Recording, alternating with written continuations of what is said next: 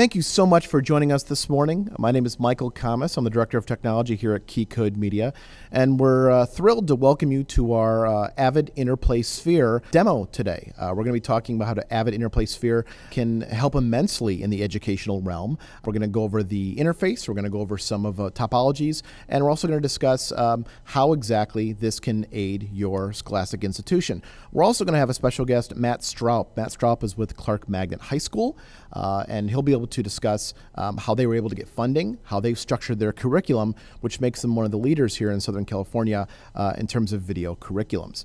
Uh, with me today uh, is Scott Williams, who's our technical manager and ACSR elite here at Key Code Media. Uh, Scott, if uh, if there's anything Avid, if there's anything Interplay, Scott is uh, the de facto standard. There is no one better uh, in the world than Scott Williams. and of course, Matt Stroup, as mentioned from Clark Magnet High School, will also be with us talking about financing as well as their video program. Before we dive into the nitty gritty of the tech, uh, I wanted to talk a little bit about what Avid Interplay is. So, as we go through the demo, uh, you know exactly what we're looking at and what Scott's going to be showing. So, Avid Interplay consists of three main components. Uh, the heart and soul, the brain of Avid Interplay is called Interplay Production. Interplay Production are the uh, several servers, the hardware and software that make all of the sharing and simultaneous editing work. Uh, this includes uh, uh, some servers as well as storage, which is built on an ISIS 5000 system. Uh, the interplay production allows for different roles uh, for different uh, people inside the production, whether they be editors, whether they be producers, whether they be directors, to have access and kick off workflows that will manipulate the media that they've added to the project.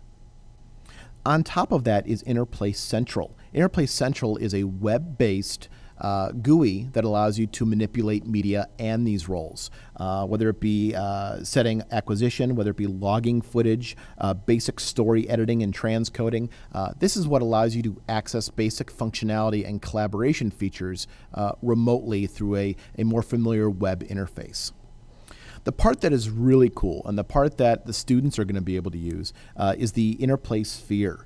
Uh, Interplay Sphere uh, is an option for Interplay production, and this allows your uh, preditors, your editors in the field, your producers to acquire, um, access workgroup assets, share, edit, upload uh, in real time. And this is can be done remotely, so you're not tethered to a computer lab. You're not tethered to uh, a small set of computers. This can be done anywhere in the world, from across town to a coffee shop to a different time zone. And this is what really brings the whole concept of simultaneous collaboration uh, together.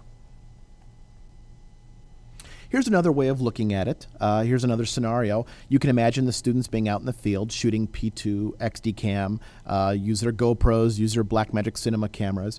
Uh, they can use a what we call a thin client, which would be a, a low-powered uh, laptop instead of carrying around a bulky workstation. Uh, get that footage into the computer, uh, start working with it, and at the same time push it back to the interplay production server uh, so everyone has access to it. So again, you're not tethered to this lab, uh, uh, which can be uh, costly uh, as well. So uh, you may be thinking, well, this is great for post-production workflows, but how would this benefit education? and that's very important, and, and that's, again, the main reason we're here today. Um, for several different reasons. first off, it helps reduce lab and facility operational costs. You can imagine the time and money spent um, having someone who's technical, someone who understands how to edit, um, be available for students uh, in off hours, whether it be early morning, whether it be uh, uh, afternoon, late evening, whether it be on the weekends. Trying to staff that can be very cost prohibitive. Uh, so to have the access to work on this media um, uh, remotely at any hours of the day without having access to the lab um, is a drastic cost savings. This also allows faculty to review and approve projects from their home so they're not taking up valuable lab time going over uh, all of this media. It also allows student to student collaboration without limitations uh, of schedules. Uh, there are growing pressures today for students to have extracurricular activities, uh, whether they have jobs or multiple jobs, whether there's family commitments. Um, being able to have students work at their own pace, uh, work with, uh, work and collaborate with other students at off hours is immensely powerful and can really help uh, sort out these finite number of hours in a day. We know that in schools, we're obviously teaching more and more media centric classes. It's less book and more technology driven. Because of that, uh, these school labs are being tied up with all these various classes, and there just aren't enough computers to go around. So, being able to repurpose these labs to, uh, to be used for these other media centric classes or media uh, technology based classes and let the students work on these uh, very lab intensive products or projects outside of the four walls of the school. Um, it drastically reduces costs for building more labs or upkeeping these expensive machines. Many students have laptops today. Um, it just makes it easier, easier for them to do their homework or, or even schoolwork uh, in class or remotely. So, being able to have uh, students use a laptop, a less expensive laptop, to work on these projects remotely uh, drastically uh, reduces the cost involved of, of schools buying this technology and students having to buy their own laptops. But more importantly, uh, one of our main jobs is to make sure that students know what's going on in the real world, to prepare them for what's happening uh, out there when they get a job in the media space. And so it, it that behooves us to uh, show them what's going on and, and keep them up to date with what's out there. Uh, by uh, putting uh, an interplay system um, inside your, your four walls, you are now grooming them to be using technology that is uh, becoming uh, a large part of the post production realm. Uh, it gets them up to speed so when they do hit the real world, when they do hit the job market, they have the skills, uh, not just in, in craft editing, but also in technology, to be able to hit the ground running. So while Scott Williams goes over uh, uh, the, the demo today, there's a couple things I'd like you to keep in mind. first off, how do you get material from outside of the classroom into the classroom? Is this currently a bottleneck for you? Uh, students bringing in hard drives, students bringing in uh, cards with media, students bringing in, uh, you know, getting media from FTP sites. Is that a bottleneck? Would the ability to upload this footage remotely from anywhere, would that alleviate bottlenecks in your schedule in terms of time and equipment? Uh, how are your students currently accessing digital media uh, from the school when they're not in class? Um, are they having to transport it on expensive drives? Are the drives breaking? Are the drives getting lost or stolen? Um, do they have to download media again from an FTP site? Is that a bottleneck? If you had the ability to get media from the central location, from the lab, uh, from the school, to edit with remotely, how is that being done and is that a bottleneck right now? Uh, are you finding that editors, producers, directors, that they're islands? As we know, whenever you're constructing a media based project, um, you can't be an island. It takes a village. And if you're finding editors and producers aren't working together because of schedules, because of limitations of technology and distance, would being able to bridge that gap to have a unified place that the media can be accessed, um, would that streamline things? Would that be beneficial to your students uh, to uh, create and lastly, uh, as we mentioned, are there not enough commuter systems to go around? Um, the whenever you're editing media, working with media, it becomes very time intensive. The creation process is not easy. So, being able to ration out time on all these computers for these storytelling classes, for these technology classes, um, with the ability of being able to do this remotely and not tying up your your labs, would that be a benefit? So, these are some things I'd like like you to keep uh, in mind as we go through uh, the webinar today. So uh, you've heard enough about me. Uh, I'm going to throw this over to Scott Williams, who, as I mentioned, uh, is our interplay guru here at Key Code Media, and he's going to go over the interface and some finer points of uh, Avid Interplay and Avid Interplay Sphere. So without any further ado, let me toss it over to Scott. Uh, so Scott, give us some interplay. Good morning, educators. My name is Scott Williams. I'm a technical manager here at Key Code Media. Uh, former Avid, spent a few years putting uh, interplays uh, across the globe. And now I'm going to show you a little bit about the new toy that Avid has released. If you're looking at your screen right now, you'll see uh, a bit of a diagram. This is the physical uh, makeup of a, of a smaller interplay system. All you really need to get uh, Central and Sphere going. Uh, you'll notice that there's an interplay production engine here, uh, the Interplay central server, uh, an ISIS, two chassis ISIS, switch, some editors, little archive down here. Uh, basically, all you really need for this system is the Interplay Central Server and the Interplay Production Engine. Uh, what this does is the Interplay Production Engine is your database. Uh, it also indexes your media on the ISIS. And the Interplay Central Server is connected to the switch and it mounts ISIS and shares out the media that's on the, on the central system. So now we're going to dive right into the database using a product called Access. Uh, Avid Interplay Access is pretty much the primary uh, media manager and administrator tool. It's a thin client. Uh, software that can be loaded on on most uh, software platforms, you know, uh, Windows 7 uh, and Mac OS. It is a window into the database. It allows you to place all the media in a folder structure that's easily searchable, including a search engine built into the system. So any kind of uh, metadata that the the clips are tagged with, whether it be sequence, master clip, um, any kind of asset really, uh, any kind of metadata that uh, that clip is tagged with, you can use this robust search engine to find it. See here, different categories, modified dates, uh, whether it's in use, whether it's video, what, kind, what type it is, what resolution.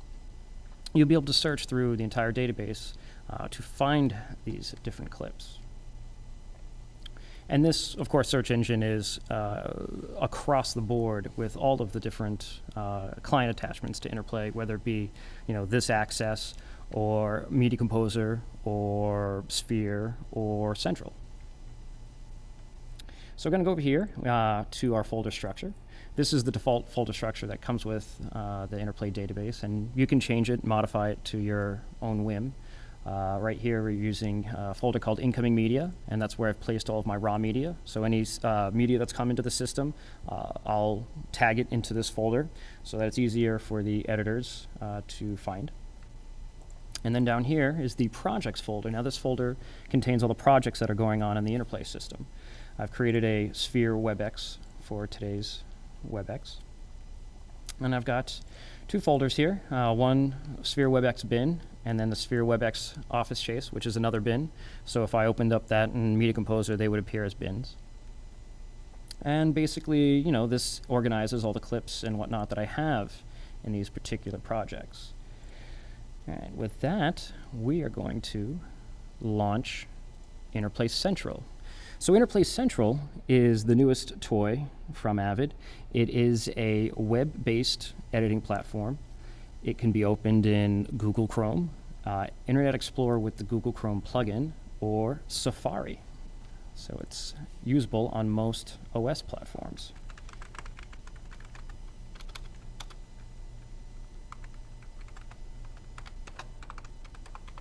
And here it is. The screen is uh, completely configurable. Right here I've set up a, uh, a pretty easy editing palette. Uh, allows me to see all of, you know, allows me to see the uh, folder structure where all of my clips are uh, and sequences. It gives me a, a, window to view clips. It gives me audio meters to check audio. Uh, the search engine, like I discussed earlier, a sequence window for my timelines, and then markers for any kind of locators that I decide to add. Because this, you know, this is a great uh, uh, tool for, I mean, especially with students, you'd be able to work on projects outside of the edit bay. Because with, you know, Central and Sphere, it really does take a lot of the work out of the edit bay. So the edit bay can be used primarily what it's supposed to be used for, which is finishing, editing a final product. Using Central and Sphere, of course, you can go home and do homework uh, you can prep your clips. You can prep your your bins for the next day when you have to be in the edit bay, and you only have a short amount of time in there, say like you know two or three hours to get your your uh, you know your project done. So let's open up the project that I'm working on. I'm working on two different clips here. I've got One where I'm going to show you guys exactly how the in and out of Interplay works, and then one project that I've already completed called the Office Chase. And here's my sequence. So this is a sequence that I already put together. Uh, you'll notice that I've got full video on the sequence. Everything's playing there in, the, uh, in that left-hand window.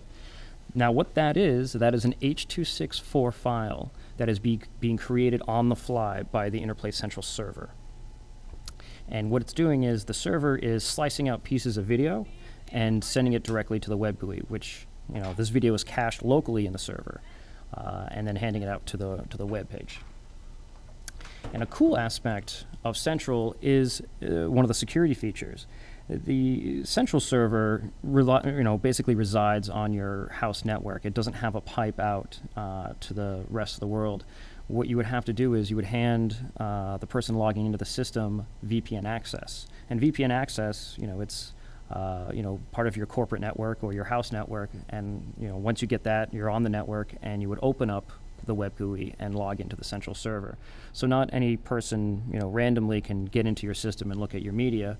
Uh, you actually have to have um, a, a, permission using this VPN uh, gateway into the facility. So here we are. We're looking at the video. It's, you know, it's some compelling stuff.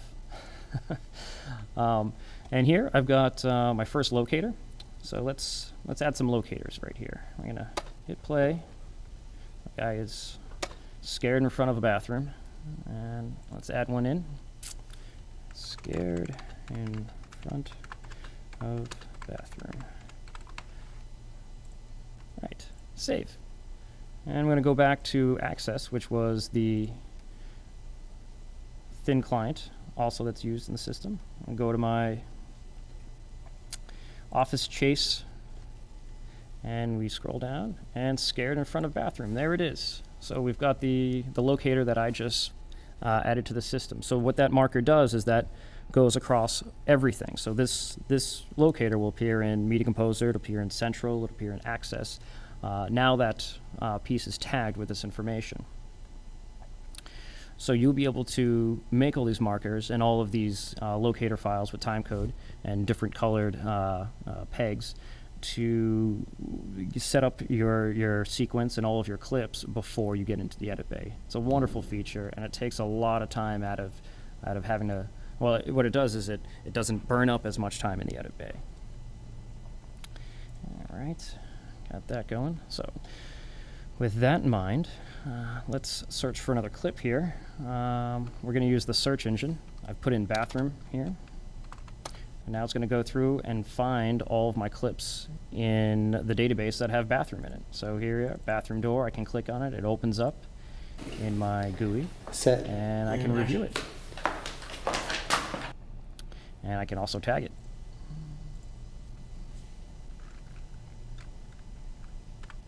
Guy install.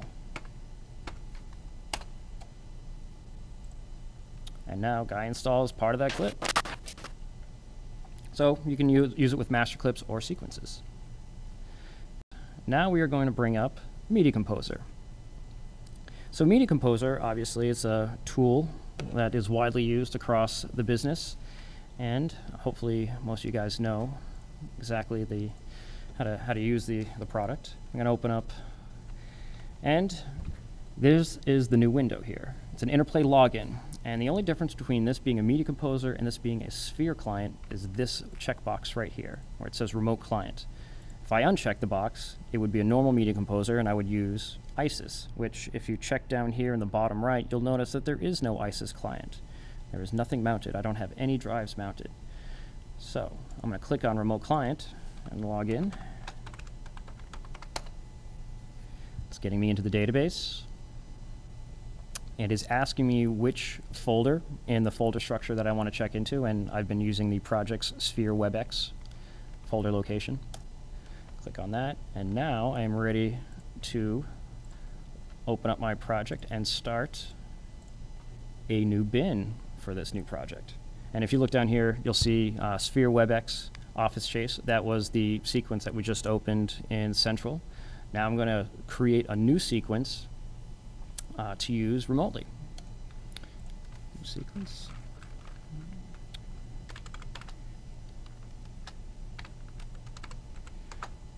Test WebEx. Wonderful. Now let's grab some video and pull it in. And like I said, this is a remote client, so we're going to show you how that looks. Let's pull up some video here. All right, we've got a couple clips here. Men's room, uh, looks like scene 20, take five, bathroom. So we're going to grab those couple clips and bring it into the system. And you'll notice that there's arrows, which means that they are downloaded clips from uh, the main system to your remote location. So I'm going to click on that, hit play, and here we go. It's playing. In fact, one of these clips has that locator, uh, bathroom door. So I made some, I made some uh, markers earlier in the day. And we are playing this remotely. This is a, a, a cached H.264 file. And the difference between Central and Sphere is that with Sphere, you, are using a more robust editor. You're probably using a laptop with a uh, significant processor and, and uh, larger hard drive. So it will actually cache the clips locally, so that if you're if you're editing and you have an interrupt in um, you know wireless or internet or of any kind, uh, it's cached locally, so you won't have to have a hiccup. So we're going to grab that clip, and drop it in, and grab one of these other scenes here and add that in. Oops. Let's see, there we go. Drop that on there. And uh, one more. Let's do, there we go. Scene 20, take four. We'll put that guy in there too. There we go. So now we got three clips in my awesome sequence. It's, uh, it's a compelling story about the bathroom. Marker. Give it a second to catch up. There we go. So what that did is it, it now cached all the clips that I had in my, my bin locally. Marker. And they are all playing speed. out. Speed. Fantastic. I'm going to update Interplay, let it know that I want it to start tracking uh, all of this information. We go to Central, we can actually bring that up. So let's go back here. Let's go back to the other WebEx uh, folder that I had open. And here it is, test WebEx. And here's the sequence that I just built in Sphere. So this web GUI is attached to the home system uh, via wireless, and then I'm using Sphere uh, via wireless to uh, look at the same clips that are back on the, uh, the system in a different location. And the really next cool feature of Sphere is local import and upload to the home system. So let's grab a clip here. Uh, something, something not too big. I think this guy's good. Yep, we'll open him up. XDCam HD. So this clip is living on, on my local C drive of my, my laptop. So I'm going to import it into my bin and add it into my timeline. Now it doesn't exist back on the system in uh, where well where the main the main um, uh, server system is. So I'm going to upload it. I'm going to upload a, a, a low res copy first, and then a high res copy, so that anyone back at the facility can see the low res copy while the high res copy is making its trip. And if you look up, there's no arrow on this one. It's because it's a lo it's a local media. So first things first, I am going to check this bin into Interplay to let it know I want it to track it. And then I am going to remote upload it, proxy then high. I'm going to turn it into an XDCAM 50 because that's what I've been operating in. And you'll see this little green circle here. I'm going to open that up, and that is the clip 06 uh, being uploaded in the background. Well, it looks like I already finished. Wonderful.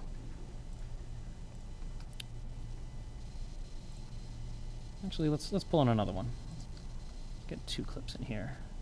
I think that one already lives on the system. Let's see, 422. And this one does not. Let's do that one. So we're going to import this guy. Probably take a little bit longer because it's twice the size. in the meantime, since the system was checked in. We're going to run back here and take a look at see if that other clip made it. Nope, and there it is. There's the um, 106 file. Uh, the light went from yellow to green to let us know that it had finished making the, the trip back to the system. And we'll get back to about halfway there. We'll let that keep going. And we'll open up that same clip in, uh, in the central client. Over here. See the project that we were working on. And there it is. And what this do is doing right now is it's loading it into the ICS server. Uh, when the video appears, you'll be able to play it because it's doing a on-the-fly transcode.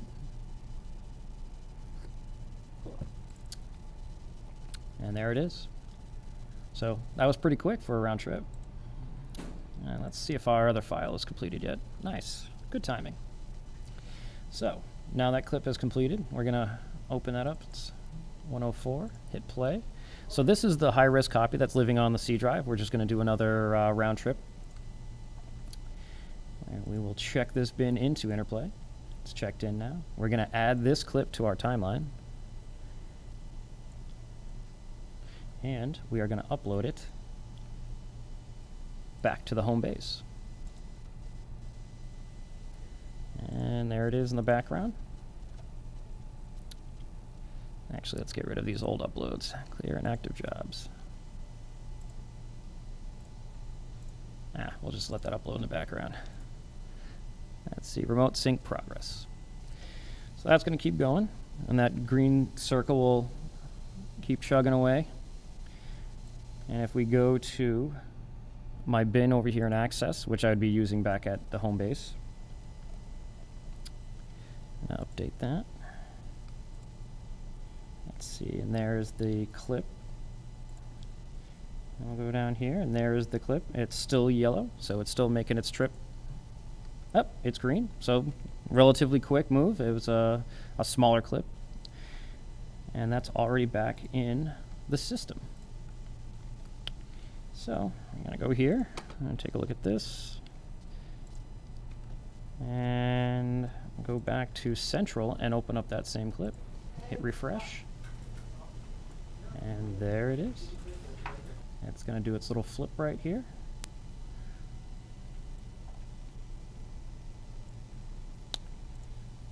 And it turned an H.264 file. So basically what happened right there was I was on a Sphere client, a remote editor, remote media composer.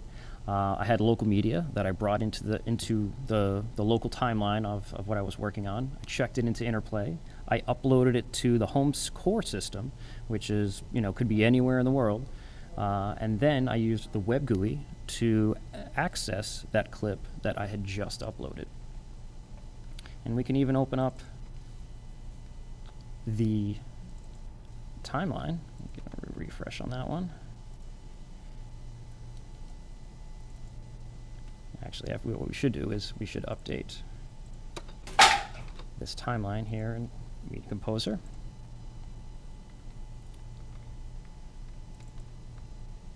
And this is my completed timeline with all the different clips. Okay, you see them? They're all playing out fine on my Sphere editor, which is remote. Do a final check-in to interplay. Go back here to the interplay central. And uh, you know what? We should refresh. And there is the rest of my sequence. Completed. So that is the round trip for Interplay Sphere and Central. Uh, I'd like to thank you guys for uh, joining us today, and uh, I'm going to throw it back to Michael. Thank you, Scott. We completely understand that just wanting the technology isn't enough. We completely understand that um, thinking, you know what, our students would love this uh, isn't enough.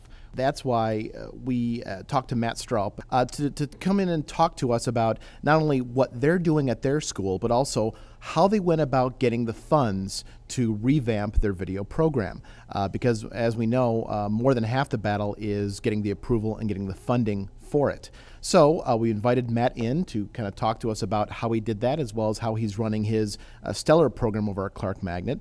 And I thought we'd hand it over to Matt so he can share some of his thoughts. Matt.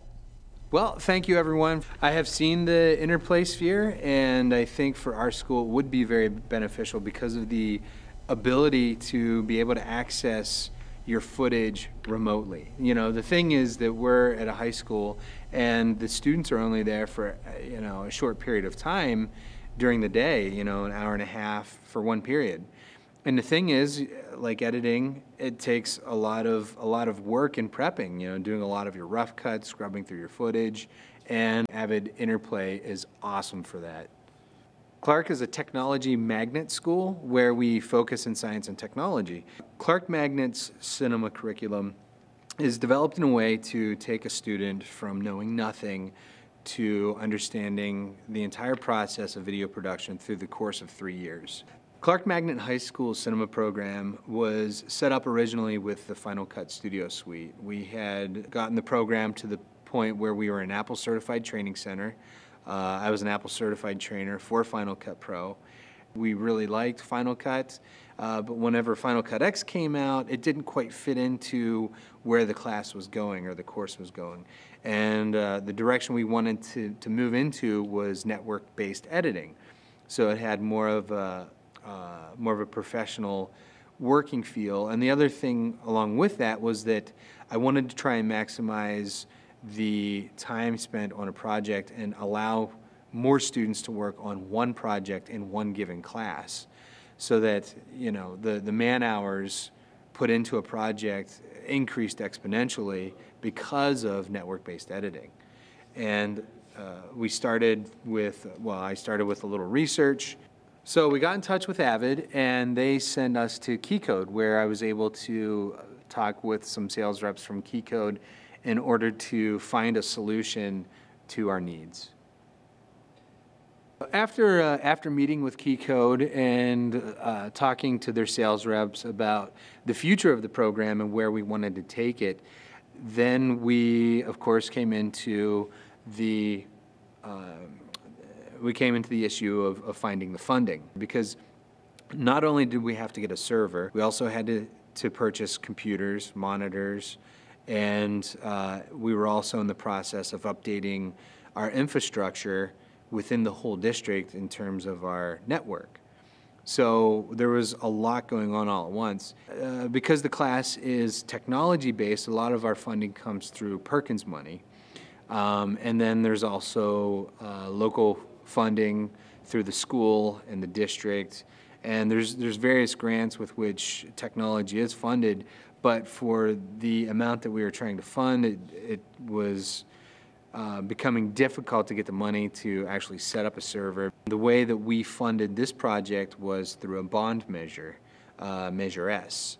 And Measure S was set up to provide funding for facilities and technology primarily. And because my classroom was a computer lab, that satisfied the technology. The board approved funding through Measure S, and that became one of the keystone Measure S projects for that year. So when you're working with, uh, with technology, of course, now that we're moving into the new core curriculum, there's a big push for CTE in A through G and, and in all schools. A lot of that is going to be implemented through courses like video production and animation, uh, uh, digital graphics, graphic design, photo, things like that. All of those take money. Um, one avenue is, is Perkins grant money. Uh, I would recommend that the teachers first talk to the principals. Your principals are going to be the, the people that know what monies are available and what avenues that you may have to take in order to get to the funding. Um, there's also technology grants that are being made available that you would have to do a little research with, maybe through your county or technology department within within the district.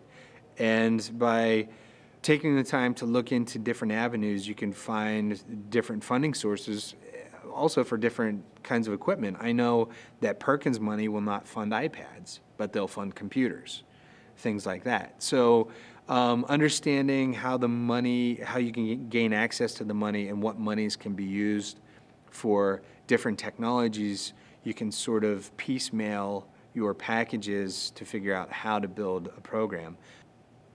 It starts with knowing what you need. And uh, the biggest thing about finding funding is that you have got to know what you need before you go looking for it. So, my advice is to make sure that you sit down with technicians that can go through the process of okay, what do we have? What do we need? And that'll give you an idea of where to start. And once you have that foundation, then you can start moving forward from there, putting together uh, a requisition or a request for specific equipment is very, very, very critical.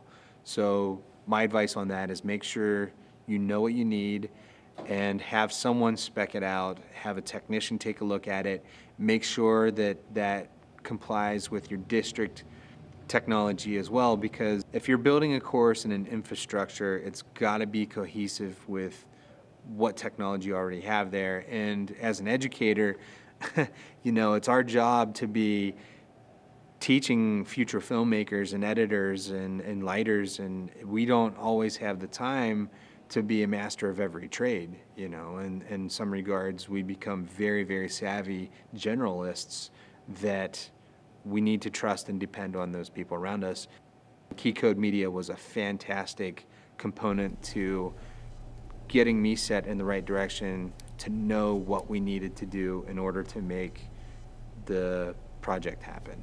Well, thank you everyone for taking the time to listen. Thank you for being here. And back to you, Michael. Those of you uh, who have not checked out Clark Magnet, uh, please do. They have some really interesting things going on there. Uh, plus, after the webinar, uh, we'll be showing a video uh, that uh, where Matt is talking about some of the technology, and you actually get to see um, some of their technology in action. Um, we're going to take a few questions now. We've had a couple questions come in via email. Uh, you're also more than welcome to put them in the uh, chat window.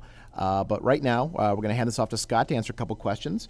Uh, we also have Avid in house. So if you have any particular Avid questions, uh, we can answer those as well. So, Scott, do we have some questions? Yep, I got this. This question here, what other equipment is necessary to run an interplay system in my facility? Well, interplay I mean, obviously the you know the main components would be the interplay engine and the interplay central engine, but you also require um, uh, some kind of switch that's qualified with Avid. Uh, requires uh, ISIS storage. Uh, it no longer works with Unity because uh, Unity, uh, of course, is end of life. Um, and plus, you know, ISIS is a is a lot more robust. It's you know Ethernet based, um, and so yeah, so pretty much uh, a switch, an interplay engine, uh, an interplay central server, and uh, and storage, and you're good. Right. got another question here. I got a with, uh, for Avid. It's uh, Derek Evanson from Avid Technology. Hi, thanks for inviting me today. Uh, the question is, are there per seat license fees for Interplay Central? And the answer is yes, there are. There's a couple of different types of license. We have base and advanced clients that attach to Central. And the difference is uh, what those clients can do. Base clients are primarily for logging, and uh, you move to an advanced client if you need to do uh, some of the more uh, advanced editorial features and advanced sequences that you want to assemble. Now, make no mistake, it's as Scott's shown, it's not the same editorial as working on Media Composer, but there are uh, some uh, some editorial components to working in Interplay Central as an advanced client. So, uh, as we wrap up the webinar, there's a couple other things that I kind of want to clue you in on. Uh, obviously, we've been talking a lot about interplay and a lot about Sphere. However, the core of that is obviously Media Composer. Uh, Media Composer 6, 5, and 7 have um, interplay functionality.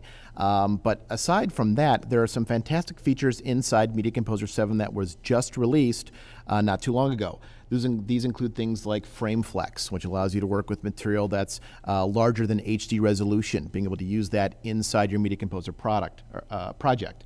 Uh, we have uh, managed folders, which include background transcoding and importing, as well as consolidation. Uh, massive instant time saver for anyone who works with massive amounts of media.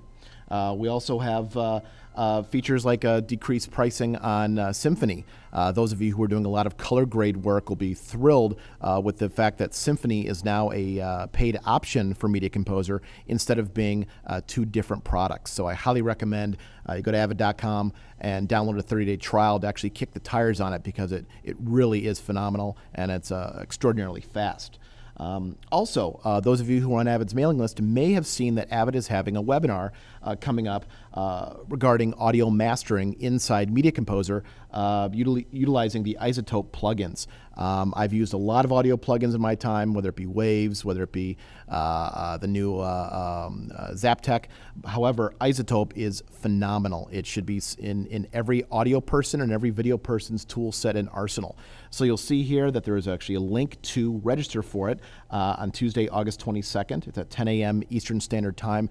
I can't endorse this so much uh, more. Please sign up and get educated on some audio plugins. Lastly, we invite you to get in touch with us. Uh, we want to hear about what projects you're working on. We want to hear um, what you thought of the webinar, and there's a couple different ways you can do that. Uh, you can either hit us up at keycodemedia.com where you'll see a, a plethora of information and products. Um, and you can also find us on virtually every social media network there is, including uh, Twitter, Facebook, LinkedIn, and YouTube. If you go to YouTube, actually, we have a lot of videos on technology, including other videos on Avid Interplay that is uh, uh, custom. It's not the traditional marketing stuff you're accustomed to. This is down and dirty, uh, great information uh, for you uh, as well as your constituents. Uh, also, um, if you're watching this at keycodemedia.com, you'll see that there are a couple more tabs on the page. Uh, please click the one that says Webinar Survey. We'd love to hear your feedback. We're always trying to improve here, we're always trying to do things better, and with your input, we can certainly get better. So I'd like you like to thank you for attending. Uh, again, this is Michael Kammes with Key Code Media. Uh, thank you, Avid. Thank you, Scott. Thank you, Matt McLean. Uh, and we invite you to get in touch with us. So until next time, thank you very much.